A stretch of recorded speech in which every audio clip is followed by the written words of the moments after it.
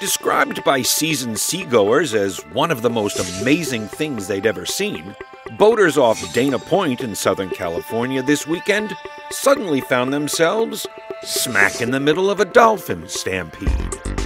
Numbering as many as 1,000, the common dolphins seemed to instantly start their race, as one observer put it, like someone fired a gun quickly reaching speeds in excess of 25 miles an hour, faster than the boats they surrounded, the huge pod of seagoing mammals could be seen from miles away as they charged through the waters for reasons that are still unclear.